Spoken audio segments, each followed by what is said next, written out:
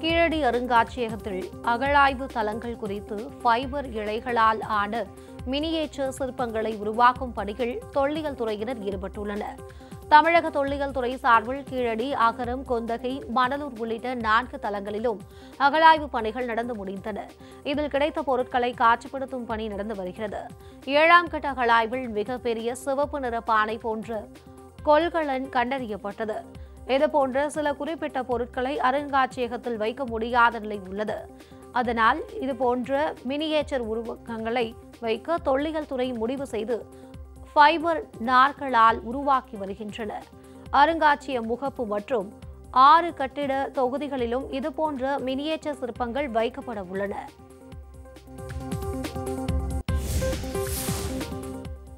டெல்லி மும்பை இடையிலான விரைவு சாலை திட்டத்தின் கீழ் முடிக்கப்பட்ட டெல்லி தோசா லால் சோட் சாலையை பிரதமர் மோடி இன்று திறந்து வைத்து நாட்டுக்கு அர்ப்பணிக்கிறார். டெல்லி மும்பை இடையே ஆயிரத்து முன்னூற்று எண்பது கிலோமீட்டர் நீளத்தில் இந்தியாவின் மிகப்பெரிய விரைவு சாலை திட்டப் பணிகள் தொன்னூற்றி எட்டாயிரம் கோடி ரூபாய் மதிப்பீட்டில் நடைபெற்று வருகிறது. டெல்லி ஹரியானா ராஜஸ்தான் மத்திய பிரதேசம் குஜராத் மற்றும் மகாராஷ்டிரா ஆகிய ஆறு மாநிலங்களை இணைக்கும் இந்த சாலை டெல்லி மற்றும் மும்பை இடையேயான பயண நேரத்தை இருபத்தி நான்கு மணி நேரத்தில் இருந்து பன்னிரண்டு மணி நேரமாக குறைக்கிறது. இந்த ஆண்டுக்குள் பணிகள் முழுமையடையும் என்று கூறப்படும் நிலையில் முதல் கட்டமாக டெல்லி தௌசா லால் சோட் வரையிலான எழுநூற்று நாற்பத்தி ஆறு கிலோமீட்டர் சாலையை தொசாவில் நடைபெறும் விழாவில் பிரதமர் நரேந்திர மோடி இன்று திறந்து வைக்கிறார்.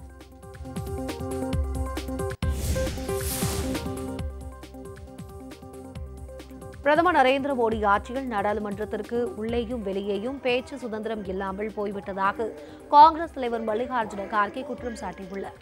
ஜார்க்கண்ட் மாநிலம் சாஹிப்கஞ்ச் மாவட்டம் பாகூரில் காங்கிரஸ் பிரச்சாரம் பேரணியை தொடங்கி வைத்து பேசிய அவர் உண்மையை பேசினாலோ அல்லது அதை பற்றி எழுதினாலோ அவர்களை பாஜக அரசு சிறைக்கு அனுப்புகிறது என்றார். இரண்டாயிரத்தி பத்தொன்பதாம் ஆண்டு ஒரு லட்சம் கோடியாக இருந்த பிரதமர் மோடியின் நண்பரான அதானியின் சொத்து மதிப்பு தற்போது பதிமூன்று லட்சம் கோடியாக உயர்ந்துள்ளதாகவும் அவர் குற்றம் சாட்டினார். ஏழை மக்களுக்காக அல்லாமல் அதானிக்கு வருவாய் கிடைப்பதற்காக மட்டுமே பிரதமர் பணியாற்றுவதாகவும் மல்லிகார்ஜுன கார்கே சாடினார்.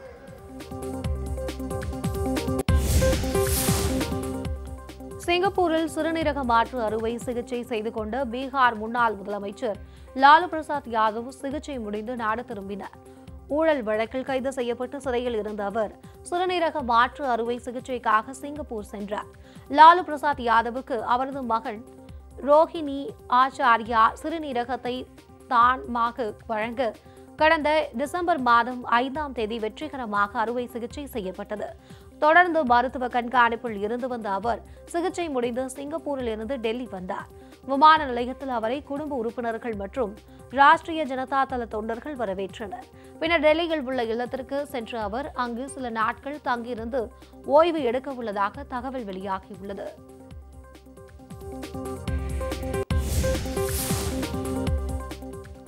நடப்பாண்டு கடந்த பத்தாம் தேதி வரையிலான மொத்த நேரடி வரி வசூல் பதினைந்து லட்சத்து அறுபத்தி ஏழாயிரம் கோடி ரூபாய் என்றும் இது கடந்த ஆண்டு இதே காலகட்ட மொத்த வசூலை விட இருபத்தி நான்கு புள்ளி பூஜ்ஜியம் ஒன்பது சதவீதம் அதிகம் என மத்திய நிதி அமைச்சகம் தெரிவித்துள்ளது. வரி செலுத்துவோருக்கு திருப்பி அளிக்கப்பட்ட நிகர தொகை தவிர்த்த நேரடி வரி வசூல் பன்னிரண்டு லட்சத்து தொன்னூற்றி எட்டாயிரம் கோடி ரூபாய் என்றும் இது கடந்த ஆண்டு இதே காலகட்டத்தின் நிகர வசூலை விட பதினெட்டு புள்ளி நான்கு பூஜ்ஜியம் சதவீதம் அதிகம் என கூறியுள்ளது. இந்த வரி வருவாய் தொகையானது இரண்டாயிரத்தி இருபத்தி இரண்டு இருபத்தி மூன்றாம் நிதியாண்டிற்கான நேரடி வரிகளின் மொத்த பட்ஜெட் மதிப்பீட்டில் தொன்னூற்றோரு புள்ளி மூன்று ஒன்பது சதவீதம் மற்றும் இரண்டாயிரத்தி இருபத்தி இரண்டு இருபத்தி மூன்றாம் நிதியாண்டுக்கான நேரடி வரிகளின் திருத்தப்படி மதிப்பீட்டில் எழுபத்தி எட்டு புள்ளி ஆறு ஐந்து சதவீதம் என்றும் நிதி அமைச்சகம் தெரிவித்துள்ளது.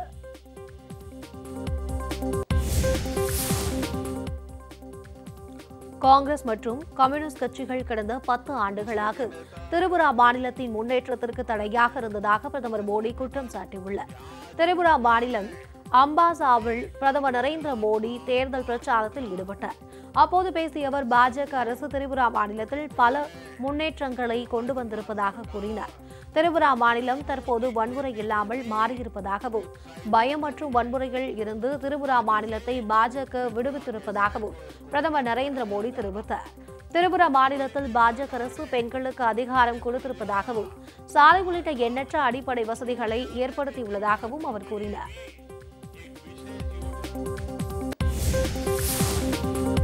மத்திய பிரதேசத்தில் தனது தந்தையை தள்ளுவண்டியில் கிடத்தி மருத்துவமனைக்கு தள்ளி கொண்டு செல்லும் ஆறு வயது சிறுவனின் பரிதாபகர வீடியோ இணையத்தில் வைரலாகி வருகிறது.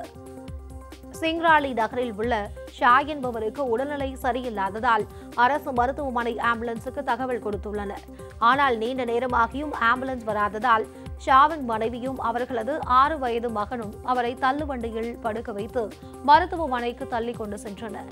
இது மத்திய பிரதேச மாநிலத்தின் சுகாதார உள்கட்டமைப்பு நிலையை வெளிச்சம் போட்டு காட்டுவதாக சமூக ஆர்வலர்கள் குற்றம் சாட்டி வருகின்றனர். இந்த நிலையில் சம்பவம் குறித்து விசாரணை நடத்தி வந்த மாவட்ட நிர்வாகம் உத்தரவிட்டுள்ளது.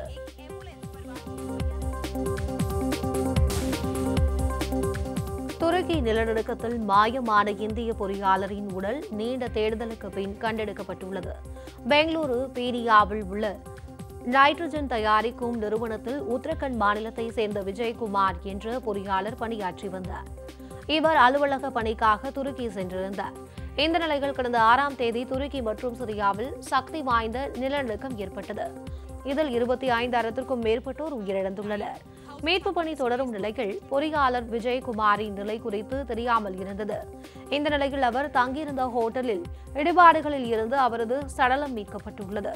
கையில் ஓம் என்று பச்சை குத்தப்பட்டிருப்பதை வைத்து அவர் உடல் அடையாளம் காணப்பட்டது. இதனை அங்குள்ள இந்திய தூதரகமும் உறுதிப்படுத்தியுள்ளது.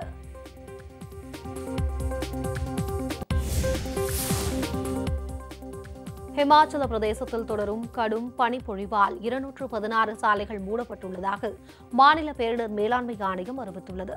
இது தொடர்பாக வெளியிடப்பட்டுள்ள செய்திக்குறிப்பில் அதீத பனிப்பொழிவு காரணமாக மூன்று தேசிய நெடுஞ்சாலைகள் உட்பட மாநிலம் முழுவதும் இருநூற்று பதினாறு சாலைகள் மூடப்பட்டுள்ளதாக கூறியுள்ளது.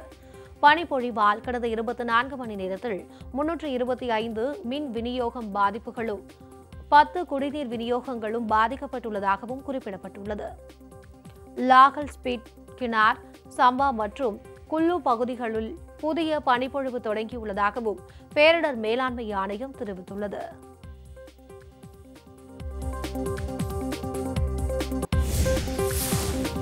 காங்கிரஸ் எம்பி ராகுல் காந்தி தனது சொந்த தகுதியான வயநாட்டில் வரும் பதிமூன்றாம் தேதி சுற்றுப்பயணம் மேற்கொள்ள இருப்பதாக தகவல் வெளியாகியுள்ளது. காங்கிரஸ் கட்சியின் முன்னாள் தலைவரும் நாடாளுமன்ற உறுப்பினருமான ராகுல் காந்தி தற்போது நடைபெற்று வரும் நாடாளுமன்ற கூட்டத்தில் பங்கேற்று மத்திய அரசுக்கு எதிராக கேள்விகளை எழுப்பி வருகிறார்.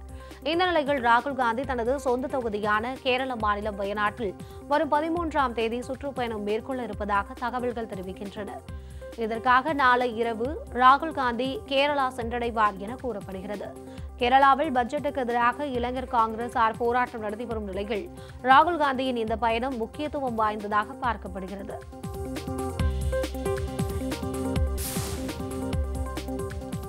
கோல்டன் குளோப் விருது வென்று தற்போது ஆஸ்கருக்கு சென்றுள்ள இயக்குனர் ராஜமௌலியின் ஆர் ஆர் ஆர் திரைப்படத்தின் நாட்டு நாட்டு பாடல் உலகளவில் பேசப்பட்டு வருகிறது. இந்த பாடலுக்கு நடனமாடி பலரும் அதனை சமூக வலைதளங்களில் பதிவிட்டு வருகின்றனர். பிரபலங்களும் இதில் விதிவிலக்கல்ல. அந்த வரிசையில் புதிதாக இணைந்துள்ளார் பிரபல தொழிலதிபரான ஆனந்த் மகேந்திரா. ட்ரிபிள் ஆர் படத்தில் நடித்த ராம் சரணுடன் இணைந்து அவர் நாட்டு நாட்டு பாடலுக்கு நடனமாடியுள்ளார். இதனை தனது ட்விட்டர் பக்கத்தில் பகிர்ந்துள்ள ஆனந்த் மகேந்திரா ஆஸ்கர் விருது பெற நல்வாழ்த்துக்கள் நண்பரே என பதிவிட்டிருந்தார். இந்த வீடியோ இணையத்தில் வைரலாகி வருகிறது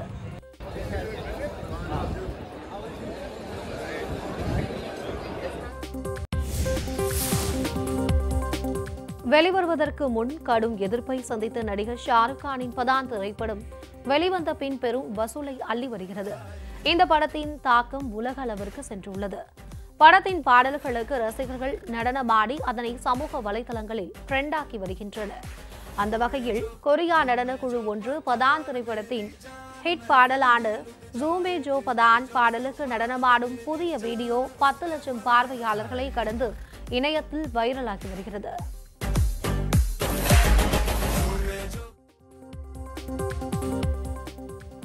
பாகிஸ்தானுக்கு எதிரான மகளிர் டி டுவெண்டி உலகக்கோப்பை கிரிக்கெட் போட்டியிலிருந்து இந்திய அணியின் துணை கேப்டன் ஸ்மிருதி மந்தனா காயம் காரணமாக விலகியுள்ளார்.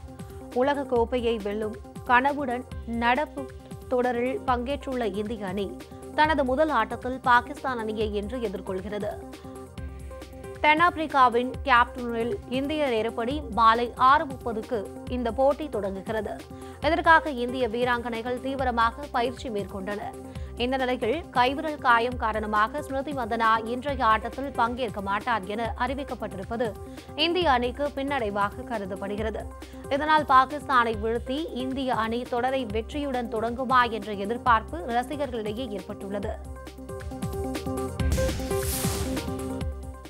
டபிள்யூடபிள்யூஇ நட்சத்திரமும் ஹாலிவுட் நடிகருமான ஜான்சினா பெண்கள் அணியும் ஸ்கட் மற்றும் ஹீல்ஸ் உடன் நடந்து சென்ற புகைப்படங்கள் இணையத்தில் வைரலாகி வருகின்றது.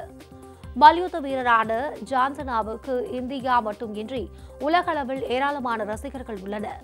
ஜான்சினா தற்போது ரிக்கி ஸ்டைன்கி என்ற ஹாலிவுட் படத்தில் நடித்து வருகிறார். இந்த நிலையில் படத்தின் படப்பிடிப்பு தளத்தில் ஜான்சினா பெண்கள் அணியும் ஸ்கட் மற்றும் ஹீல்ஸ் உடன் நடந்து செல்கிறார். இந்த புகைப்படங்களை ஜான்சினா ரசிகர்கள் இணையத்தில் அதிக அளவில் பகிர்ந்து வருகின்றனர். ராமநாதபுரத்தில் காதலர் தினத்தன்று என்று பிரத்யேகமாக வரவழைக்கப்பட்டு கிஃப்ட் பொருட்கள் விற்பனை களை கட்டியுள்ளது. விற்பனை கடைகளில் காதலர் காதலிக்கு கொடுப்பதற்காகவும் கணவன் மனைவிக்கு கொடுப்பதற்காகவும் பிரத்யேகமாக ஏராளமான கிஃப்ட் பொருட்களை வாங்கி குவிக்கப்பட்டுள்ளன.